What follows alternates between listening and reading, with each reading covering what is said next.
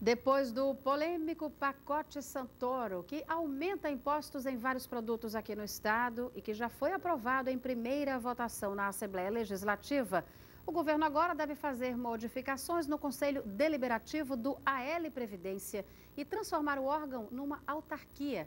Nossos repórteres foram à Assembleia ouvir a opinião dos deputados. Em entrevista ao vivo no programa Cidade Alerta, o secretário da Fazenda, Jorge Santoro, explicou o motivo da mudança no AL Previdência. Tem dois problemas básicos hoje, o AL Previdência. Ele não participa da estrutura organizacional do Estado. Ele é um serviço social autônomo. Ele não está na estrutura, ele não é constituído pelo Estado, é do direito privado.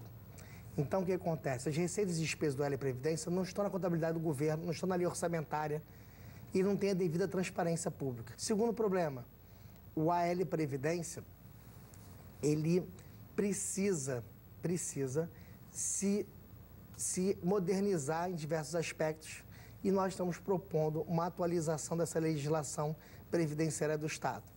Trazer o AL Previdência para uma situação que dê tranquilidade por servidores para o futuro. O secretário George Santoro afirmou que o projeto já está sendo analisado pela Procuradoria-Geral do Estado, para só depois ser encaminhado para a Assembleia. Mas por aqui, os deputados já começaram a discutir o assunto. Nesta quarta-feira, o deputado Galba Novaes levou o tema para o plenário e revelou ser favorável à mudança. Esse projeto está vindo em boa hora para se discutir, né, para, na realidade, dar, dar legitimidade jurídica àquilo que, no meu entendimento, pelas declarações que nós temos ouvido, certo, não funciona.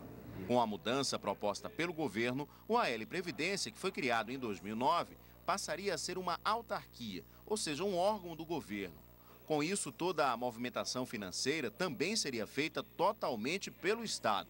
Na opinião de alguns deputados, isso daria mais tranquilidade aos servidores já aposentados e aos que vão se aposentar. É um projeto que os, todos os nossos pares têm que realmente se debruçar sobre ele.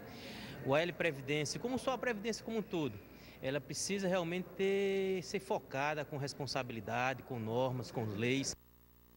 Vamos aguardar mais discussões deste projeto.